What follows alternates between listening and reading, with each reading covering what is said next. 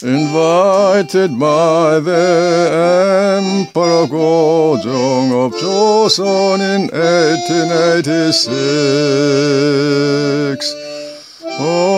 Homer Hulbert sailed for Korea, a battleground of superpowers.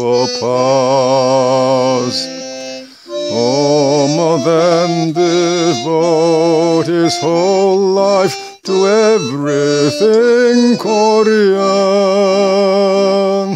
Language, alphabet, history, culture, music, and folklore. And discovered and publicized his findings to the world. What a great teacher and pioneer he was for all Korea.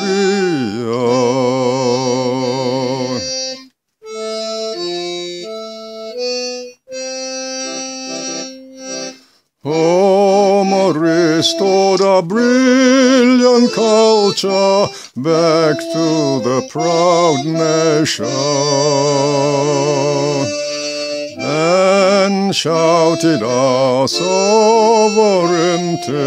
for the whole world to hear.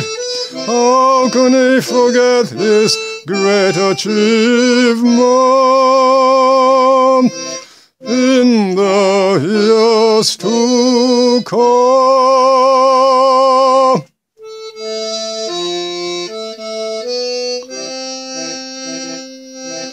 Homer loved this land much more than Koreans ever and was buried in this very land as he always wished for. May Dr. Hulbert rest in peace in the land of morning come.